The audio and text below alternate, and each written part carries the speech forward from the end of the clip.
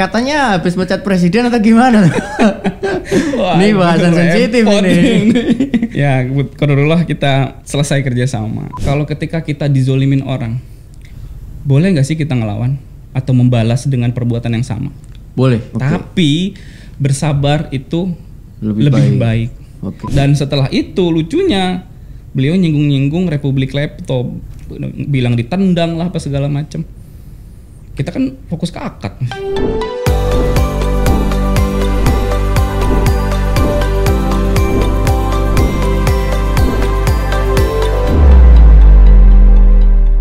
Oke, Mas Bayu ngelihat badannya ini pebisnis atau atau pegulat atau apa nih Mas? Tukang mas pukul, Mas. Tukang pukul.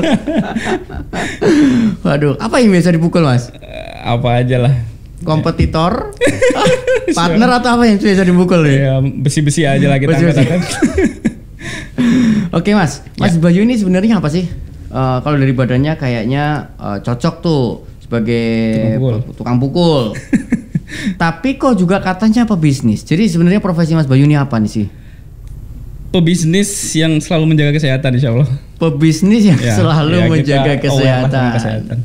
Oke Mas, bisnisnya apa Mas? Bisnis kita ada eh, laptop Laptop, eh, sama kuliner. kuliner. Ya. Wah, nama brandnya apa aja Mas? Ada Republik Laptop dan Republik importir laptop, laptop. sama importir Dan laptop. sambal tembikar yang kulinernya. yang, yang kuliner sambal, tembikar. Tembikar. Oke. Kalau Mas Bayu secara fokus yang ada di mana Mas? Saya fokus di laptop sebetulnya. Di laptop. Ya. Kan tadi laptop ada dua tuh, import sama import laptop sama importir laptop sama, Republik Laptop. Apa bedanya keduanya Mas Bayu? Ya kalau importir laptop kita fokus retail aja. Oke. Kalau uh, Republik Laptop kita ada uh, tender pemerintahan juga, sewa, Hmm. servis, tukar tambah, jual beli semuanya ada. Laptop second, laptop baru semuanya ada. Oke, Lengkap. Mas. eh, saya mau nanya, eh, kenapa nggak disatuin aja tuh Republik Laptop sama import laptop? Kayak import laptop kan ya udah retail, terus kenapa nggak ditambahin aja, eh, diluasin aja sekalian untuk sewa dan lain-lain dengan nama brand yang sama? Kenapa tuh dipisah jadi dua? Nah, jadi awal mulanya nama importir laptop ini kan karena dari sisi nama orang pas denger itu langsung wah ini murah nih segala macam nih. Nah, Nah, sedangkan dari penamaan sendiri kalau kita mau masuk ke tender pemerintahan sepertinya agak sulit dengan nama itu. oh gitu ya? Kita live TikTok aja keblokir terus pakai nama itu. Kenapa? Nah itu dia sih kita lucu juga tuh. Nah maka dari itu ada beberapa kendala pakai nama itu. Hmm. Kita bikin nah, brand baru Brand namanya Republik Laptop gitu. Oh, itu gitu. fokus ke tender pemerintahan. Alhamdulillah dengan branding yang ya alhamdulillah kuat gitu ya. Langsung itu meledak penjualannya. Langsung dengan dengan dengan nama yang lebih tepat, Iya. yang sesuai dengan positioning, yang lebih sesuai dengan kaidah-kaidah branding, ternyata jauh Iya, dan eh, terkonsep. bisa- dan terkonsep bisa Iya. menghasilkan penjualan ya. Iya karena kita ada unik mas. Jadi temanya kenegaraan. Gimana gimana gimana gimana? Jadi di Nah, outlet ceritain. kita di outlet kita itu temanya kenegaraan. Ada presidennya, ada wakil Sebentar nih, sebentar. presidennya. Tahun berapa dibuka sih Republik Laptop ini? Republik Laptop tahun 2021. Tahun 2021. eh, importir laptop 2016. Oh, Sebelumnya berarti- saya bisnis fashion. Berarti udah lima tahun ya? Ya. Lima eh kok lima tahun? Berarti yang importer itu tahun 2016 tiga tujuh 16, tahun. tujuh tahun, iya. Setelah itu tahun 2021 bikin Republik, Republik Laptop. laptop. Karena bikin Republik Laptop karena dasarnya hanya nama saja awalnya. Nama saja. Ya. Oke, terus bikin Republik Laptop. Kenapa bikinnya gimana, Mas? Eh, prosesnya gimana? Bu, ceritain dong. Jadi Bisa sampai nemu nama keren gitu. yang pertama alasan alasan kuatnya juga mas. Laptop ini kan barang yang dikomparasi orang. Betul. barang mahal Betul. yang dikomparasi orang. Betul. Jadi kita bikin dua brand ya salah satunya karena beda positioningnya juga Oke. gitu ya, beda target marketnya juga. Us, tapi selain dari positioning nih. tapi selain daripada itu memang karena barang mahal yang dikomparasi orang, ya orangnya jadi bisa milih nantinya mau beli Hmm. mau beli laptopnya ke toko mana dan eh, kita nah ini agak agak sensitif nih Gak apa-apa. rahasia kayaknya nih. agak sensitif karena apa ya ketika kita bikin bikin dua brand akhirnya dua brand inilah yang kuat apalagi di kota Bandung ya Hmm. dua brand inilah yang jadinya kuat Hmm. yang orang itu kita kita branding ya dua toko laptop terbaik di kota Bandung Oke, berarti itu yang diadu ya. iya Mau beli di mana pun ya maksudnya cuannya ke Mas Bayu semua gitu. iya ya walaupun sebetulnya beli ke kompetitor kompetitor juga sebetulnya ngambil ke kita kita juga Oh gitu. sebetulnya. oh gitu. iya kan kita supply juga mas Oh, Oke. Mas, jadi ak- aku jadi ingat nih Mas. ya Dulu sebelum aku pakai Mac, ya sebelum pakai Mac, aku kalau kan belinya win, uh, laptop biasa lah ya. Hmm. Merek Asus ganti-ganti ya sesuai yang bagus apa. Kalau di Semarang tuh ada satu mall namanya Semarang apa ya? Simpang 5 Plaza. Ya. Lantai 5 itu isinya laptop semuanya. Hmm. Suatu ketika aku aku tanya ya toko yang dekat pintu masuk dulu. Ya. Pintu masuk tanya harga laptop ini berapa? Karena udah pegang spek, Ya. udah pegang tipe. Tanya toko kedua, tiga tuh. Eh ternyata ah, aku baru tahu ternyata salah satu temanku SMA pernah kerja di, di ah, kerja di, di, di satu satu toko. Hmm. Tak tanya loh kemarin aku lihat kamu di toko yang depan. Kok sekarang kamu di toko yang dalam sini? Hmm. Ya ini semua punya bosku semua di sini punya lima toko. Loh, kenapa gitu? Ya kan kamu nanya-nanya atau kan biar jatuhnya ke, ke kita semua. Oh ya. Oh, Itu sudah- Tapi sayang dia nggak main branding kan? Enggak. Dia hanya ngebanyakin cabang. Iya, ngebanyakin Iya, cabang. Betul, betul, betul. Ya karena rata-rata toko laptop yang saya kenal nggak ada nggak ada yang benar-benar nge-branding brandnya gitu yang Oke, di, di, Oh, iya memang. Memang mereka hanya tidak eh, terkonsep nggak gitu terkonsep. ya. Nge- Etalasenya pakai etalase stainless biasa, Betul, kaca iya. biasa. Kalau kita terkonsep semuanya, Mas. Oke, apa mas keistimewaannya Republik Laptop? Harganya lebih mahal nggak dari kompetitor? Dengan kompetitor, kalau kita mengutamakan kualitas yang pertama, Mas. Karena Kualitas. after sales itu yang benar-benar kita jaga. Kita QC-nya aja sampai tiga kali itu, detail banget dan kita nggak mau main barang-barang refurbish yang diakal-akalin, disambung-sambung apa segala macam itu kita nggak mau. Itu laptop second. Second ada baru ada gitu. Kalau kalau baru kan udah udah Kalau baru garansi resmi semua, cuman kan kita memang yang paling banyak penjualannya kalau untuk di Indonesia market share untuk barang second laptop itu banyak banget mas, gede banget lebih ya. tinggi daripada barang baru. Lebih gede daripada barang baru. Betul. Ya selera orang Indonesia kan pengen Iya, murah, banyak murah. kualitasnya tinggi Iya, kan gitu. dan saya yakin untungnya laptop second tuh lebih gede daripada Betul. laptop baru. Betul. Cuman kita kan eh, untuk mengatasi rasa takut. Orang beli laptop second itu makanya kita kasih garansi gitu after salesnya. Bahkan ini kita lagi memperkuat eh, dari sisi CRM-nya juga Hmm. orang-orang yang sudah beli laptop di kita eh, satu bulan itu kita hubungin satu-satu. Kita WhatsApp, Wow. kita kasih edukasi, kita tanyain kendalanya apa, kita doain seperti itu. Hmm, Masya Allah. Gitu. Ini ini keren banget menurut saya. Kenapa? Karena belum ada, kan? Karena belum ada, betul. Betul. Itu satu. Yang kedua, ini produk komoditas sebenarnya. Ya. Hari-hari ini laptop ya walaupun nggak produk komoditas, tapi hari ini jadi komoditas. Karena untuk ngebandingin dari satu ke toko ke toko lain itu gampang banget. Karena sudah pegang pegang nomor seri, Hmm. nama brand, pegang nomor seri itu tinggal tanya aja mana yang paling murah. Oke, laptop second itu tidak bisa dikomparasi, mas. Uniknya di situ. Oh, karena second ya? Karena second nggak Beda bisa. kondisi. Karena beda kondisi. Baterai aja rusak baterai aja udah berapa ratus juta, Ah. ribu gitu, bisa sampai satu juta gitu. Sedangkan kita kita jelasin tuh berapa Hmm. persen baterainya, S, apa hard disknya berapa persen, SSD-nya berapa persen, Hmm, gitu. Dan kita rata-rata 100 persen baru kita jual. Kalau misalkan kondisinya semuanya bagus, Oke. ya kita jual gitu. Oke, terus cara brandingnya mas, tadi mau cerita tuh, gimana tuh? Jadi- Nemuin konsep brandingnya tuh. Jadi semua brand saya itu ya alhamdulillahnya kita temu konsep masing-masing kayak Republik Laptop tuh temanya kenegaraan. Hmm. Gitu. Kalau misalkan importir laptop itu temanya space luar angkasa. Nanti ada icon nih muncul Mas eh, Insya Allah bulan depan itu muncul astronot Oke. karena temanya kan space tuh luar angkasa. Yang importir laptop. Importir laptop gitu. Oke, yang Republik Laptop, kok bisa nemu ide itu gimana awalnya mas? Kita itu negara kita ini unik ya. Kalau urusan politik segala macam tuh pasti paling rame. Oke, Iya. tapi itu baru-baru. Mau tahun politik nggak tahun politik sama aja mas. Iya, tapi itu muncul apa namanya? Tahun apa namanya? Saya saya sedikit komentari Iya. bagian itu. Kita baru rame-ramenya ngomongin politik itu setelah eranya Jokowi, menurut saya ya. Ya. Karena sebelumnya kita silent semua. Mhm. Nah kita ngambil momen-momen seperti Momen-momen itu. itu ya. Karena ketika anak-anak bikin konten tuh nggak melebar ke mana-mana lah, bisa Oh, bisa ngambil tema itu, sehingga orang dapat dengan mudah mengingat gitu kan, Hmm. unik gitu. Oh kok bahas-bahasnya lucu-lucu aja nih gitu kan. Terus ya terkonsep gitu. Gitu. Oke. Nemu idenya mas. Pertama mas, kenapa yang dipilih adalah eh, konsep kenegaraan? Ya karena tadi mas sering rame gitu urusan bahas-bahas politik itu kan lucu gitu oh, dan terus ada jadi matinya. gampang gampang nunggangin gitu ya. Betul. Ya. Oke, terus apa aja yang udah dilakukan? Tadi kan katanya konsepnya kayak kenegaraan. Maksudnya gimana? Ya, jadi kan di outlet kita itu kita eh, desain itu kayak negaraan ada bendera eh, partainya gitu kan.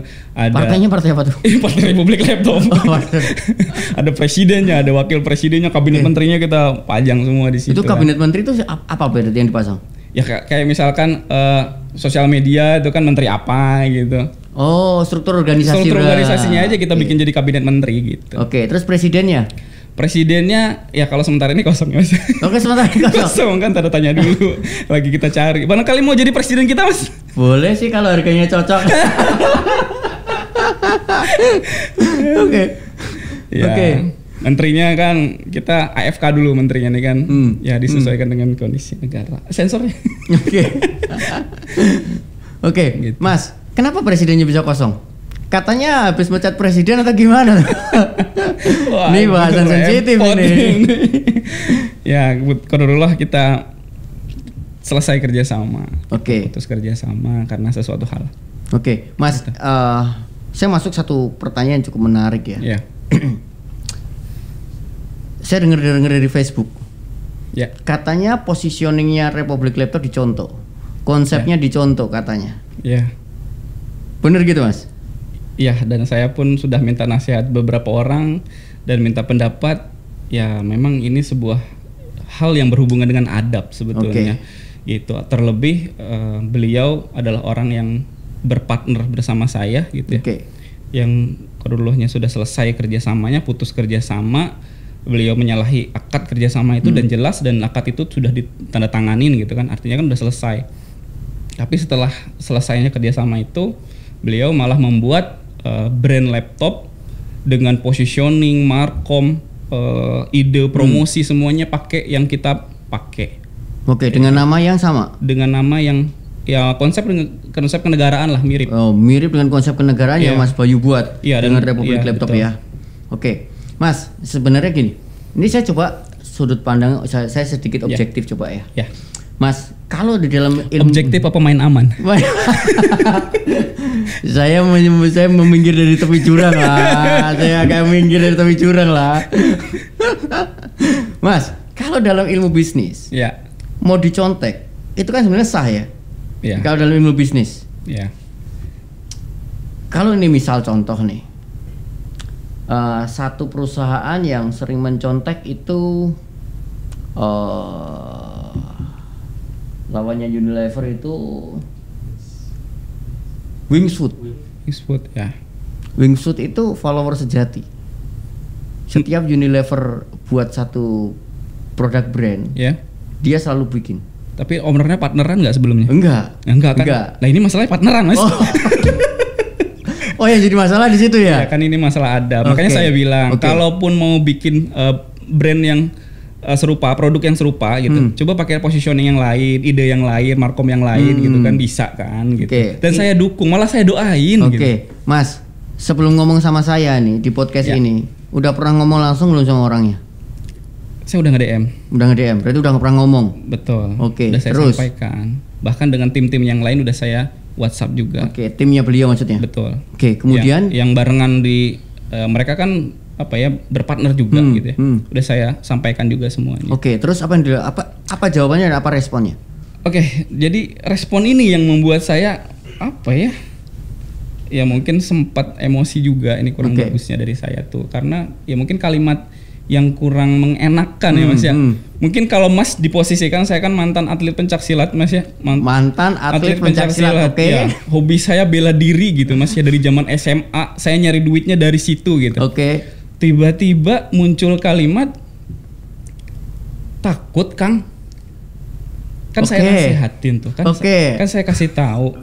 Si, ya kalau misalkan pengen bikin brand yang serupa coba kreatif jangan pakai positioning ide yang sama Hmm, gitu kan ya. Oke. Dijawabnya takut Kang.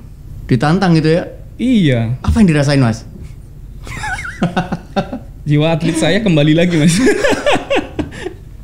nah dari situ saya kan jadi dinasihatin juga sama eh, guru saya.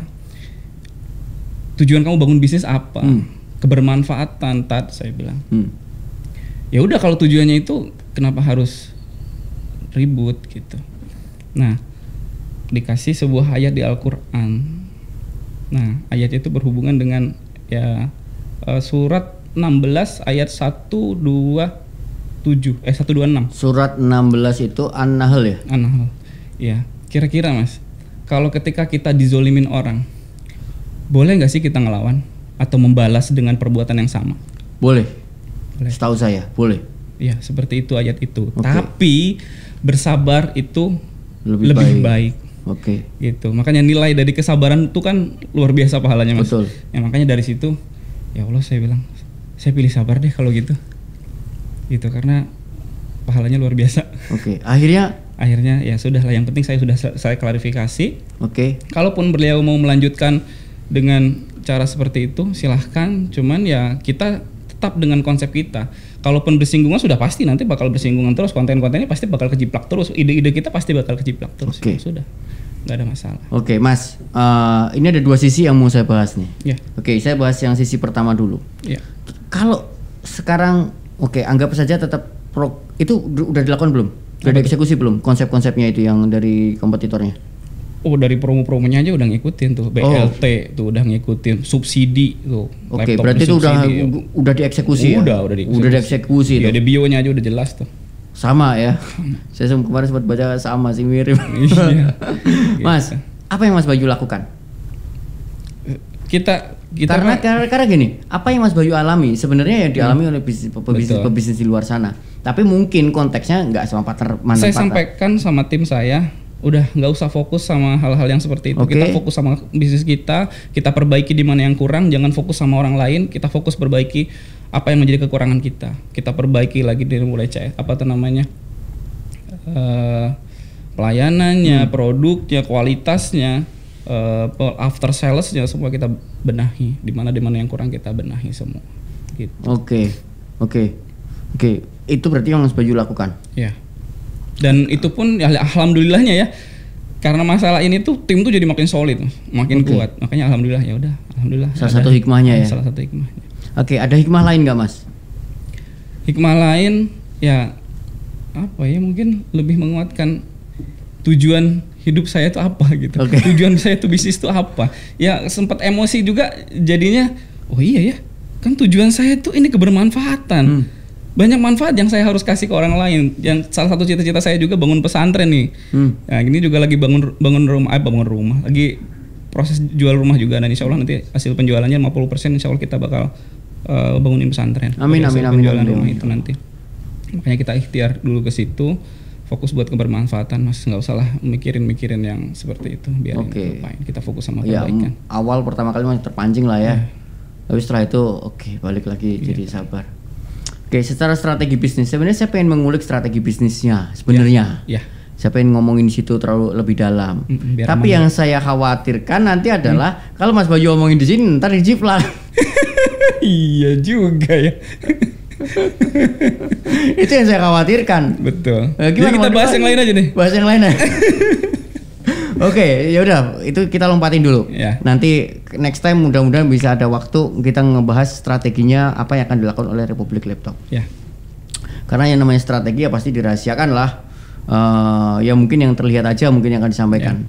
Tapi satu sat- satu poin saya ya mas, ini sudut dari sudut pandang saya. ya, Orang bisa mengcopy paste apa yang kita lakukan, betul. yang terlihat. Ya, Tapi yang tidak terlihat itu nggak bakal bisa di copy paste. pasti. Infrastruktur yang kita punya, pengalaman yang kita punya, pengar pernah kita jatuh, itu kan pengalaman-pengalaman yang saya yakin nggak bisa nggak bakal bisa di copy paste. Betul, terlebih operasional laptop itu nggak gampang. Nggak gampang, yes. Nggak gampang, Mas. Setiap bisnis pasti punya detailnya. Produk knowledge-nya itu harus benar-benar paham Hmm. kita. Tim kita tuh benar-benar kita didik itu berbulan-bulan Mas untuk mereka tuh benar-benar paham produk knowledge. Oke. Karena kan mereka harus ngasih solusi kepada orang yang mau beli. Harus sesuai kebutuhan kan orang Hmm. Yes. yang datang ke toko kita tuh Betul. ketika mereka pulang kan harus sesuai dengan apa yang mereka cari. Hmm. Nah, kalau toko-toko eh, mohon maaf yang lain ya asal closing aja kan. Oke, yang penting kejar target. Iya, kalau kita Pak kebutuhannya apa? Itu yang kita kejar, kita itu yang kita cari. Jangan sampai pulang, loh kok nggak bisa nih pakai aplikasi ini? Kok nggak kok ngeheng nih gitu kan? Hmm. Nah, kita kita cariin benar-benar sesuai kebutuhan. Makanya tim kita harus paham betul yang namanya produk knowledge. Oke, bisa menggali kebutuhan customer dan bisa memasangkan mana pasangan laptop yang pas untuk customernya. Iya, Itu nggak gampang itu. Betul. Kalau kas ini dari sudut pandang saya, kalau seorang penjual berarti salesnya Mas Bayu itu eh, nggak, oke orang mencontoh anggap aja copy paste, ngebuka ngebuat toko yang sama, konsep sama, etalase sama, Iya. tapi problem solvingnya pasti kan be- jadi beda. Iya. Customer masuk, paling cuma ditawarin mau beli yang mana, begitu kan? Iya. Kalau yang paham kan ya seperti yang tadi Mas Bayu lakukan, kamu butuhnya untuk apa gitu, Iya. dan itu nggak gampang memang. Tuh, Saya yakin nggak bisa di copy paste pengalaman-pengalaman di dalamnya. Yang bisa di copy paste paling yang kelihatan doang. Betul. Gitu. Itu satu sisi, Mas. Sekarang kita bahas sisi kedua, Mas. Oke. Ini juga saya yakin teman-teman di luar sana mengalami. Katanya kalau kita mau belajar tentang ekonomi, belajarlah dari krisis. Ya. Kalau kita mau belajar tentang brand yang sukses, belajarlah dari brand yang gagal. Kalau mau cari partner yang bagus, carilah orang yang sudah gagal berpartner. Oke, oke. Ya. Oke, Mas Bayu punya pengalaman itu kan? Ya. Kira-kira jikalau nanti ke depannya akan berpartner, apa hal-hal yang harus dihindari di awal ketika screening untuk mencari partner? Oke. Yang So- yang pertama kita saling membongkar di mana kelebihan kekurangannya masing-masing. Dan itu harus jujur. Oke, saling membongkar kelebihan dan kekurangannya masing-masing. Ya. Terus bersafar bareng. Oke. Ya kan dari situ nanti kan Yang pertama dilakukan nggak kema- sebelumnya? lakukan safar. Enggak, yang yang pertama, yang pertama. Yang pertama tadi yang membongkar ini dilakukan nggak Ya kan di nggak perlu ngebongkar saya juga tahu track record reputasinya. Tapi kodurullah. ya mungkin kurang detail aja sih. Oke, kurang detail. Oke, yang kedua safar bareng. Safar bareng. Terus yang ketiga Safar bareng udah pernah? Ya Yang safar, bareng, sudah. Sudah pernah pernah dilakukan dengan Umroh. partner yang sebelumnya? Umroh bersama. Oke, sudah. Ya. Oke. Yang, yang ketiga nih yang saya belum lakukan. Banyak bertanya terhadap orang tersebut ke orang lain. Bertanya kepada orang lain tentang orang tersebut mungkin yang sudah pernah Oke. berpartner dengan beliau. Itu yang tiga itu Belum belum, tidak lakukan. dilakukan sebelumnya. Ya. Padahal itu juga cukup penting Betul. untuk mendapatkan track Ya. record aslinya. Ya terlebih sosok beliau kan adalah sosok hmm, di sensor gak nih? Nanti saya sensor tit gitu. ya, ya kan nggak apa ya nggak etis juga ya seorang itu melakukan plagiat terhadap itu anu Terhadap partnernya. partnernya. Oke. Tiga hal ini ya. Ya, Oke, ini catat nih teman-teman ya. Tiga hal kalau mau menentukan partner dalam bisnis. Iya. Yang pertama tadi oh Mas. Bisa safar bareng dulu. Oh, ya. yang pertama bisa safar bareng. Bisa safar bareng dulu sambil ya kita kan safar bareng bisa sambil yang cari ya, yang kedua curhat ya. lah ibaratnya Hmm, ngasih eh, kelebihan saya ini kekurangan saya ini. Jadi kan kita tahu jangan sampai oh ternyata kekurangannya sama. Oke. Iya. Apa yang mau ditempel? Iya, iya, nggak bisa saling melengkapi dong kalau Ah, kayak gitu. ah. Kalau dua-duanya nggak ngerti konten atau nggak dua-duanya nggak ngerti branding, ya siapa nanti yang ngejalanin Hmm. gitu kan? Masa kita harus bayar? ya iyalah harus Oh iya, bayar. lah. harus bayar. Harus bayar lah. harus bayar lah. Iklan. Iya. Gitu. Oke, yang ketiga yang cukup penting ya, Ya. yaitu nanya ke Ke orang yang mungkin Orang-orang kategorinya pernah berpartner dengan orang tersebut atau mungkin cari tahulah tentang sosoknya. Hmm, Kan eh, sosok dia di mata orang lain atau teman dekatnya itu seperti apa sosoknya kan? Ya enaknya memang bertanya. Itu kesalahan yang saya lakukan. Mungkin saya nggak sampai sejauh itu. Oke, Mas, eh, selama perjalanan berpartner itu Ya. eh, berapa tahun jadi total berpartner, Mas? Sampai sebelum di copy paste itu. Empat bulan. Oh, empat bulan. Lima, sorry, lima bulan. Oh, banyak pertanyaan lima bulan. Ya, lima bulan. Oke. Awalnya di- awalnya gimana, Mas? Awalnya kan, Kita nggak ngebahas personal brandnya. ya, Kita bahas hal-hal yang mungkin terkait dengan yang yang hal yang viral yang mungkin kita semua tahu lah. Oke. Kasus yang meledak saat itu kan. Dan satu bulan sebelum kasus itu meledak kan, saya sudah eh, kasih warning ke beliau, sudah saya sampaikan, sudah saya nasihatin ke beliau. Kalau sampai kasus ini nanti meledak gitu, bom waktu itu meledak, saya bilang.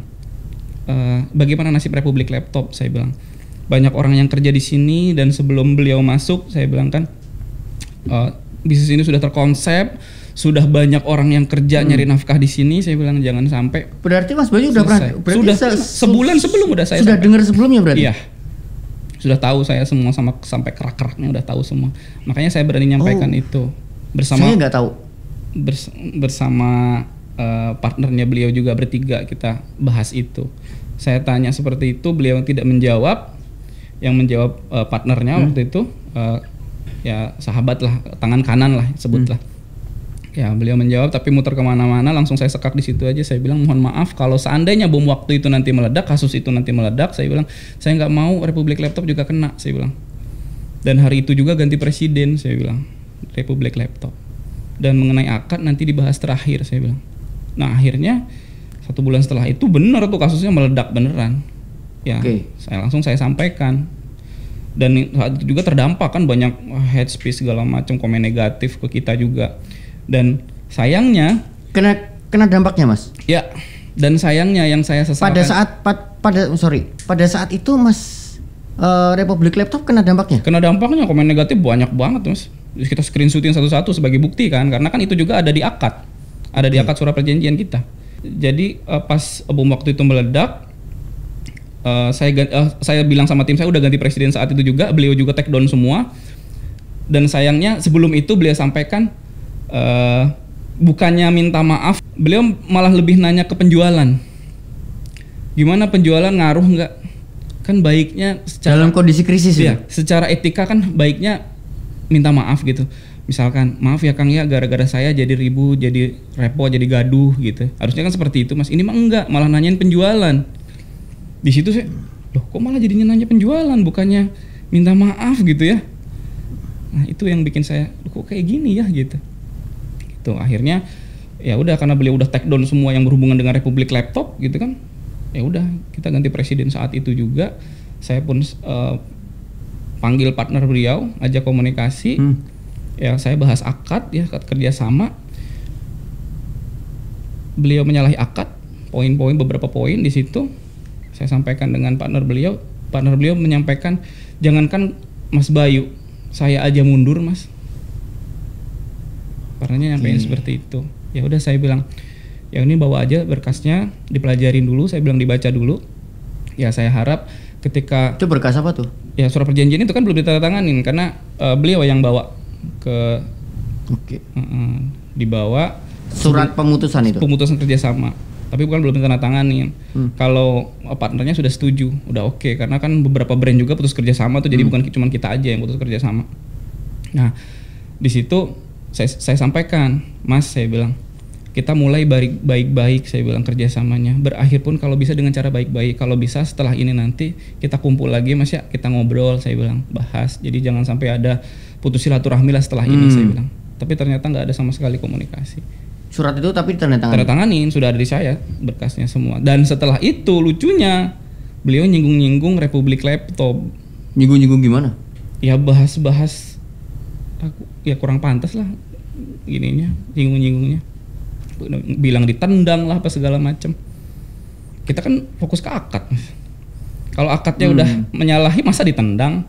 Gitu kan kita sesuai akad aja gitu dan beliau pun udah tanda tangan kalau udah tanda tangan berarti kan setuju Iya, setuju. Iya.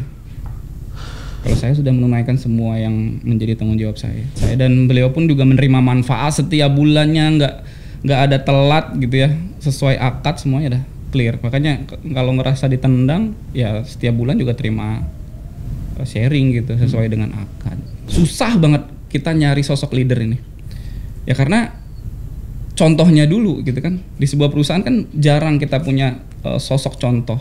Nah, makanya ya sebagai business owner terutama ya kita harus belajar bagaimana menjadi seorang leader yang baik. Jangan marah-marah terus lah dari hal-hal kecil ya. Mungkin nggak marah-marah. Kalau saya kan ibaratnya kayak ngasih panggung ke, ke tim itu. Jadi kalau mereka salah itu nggak langsung dimarahin gimana. Ya namanya orang belajar gitu ya. Hmm.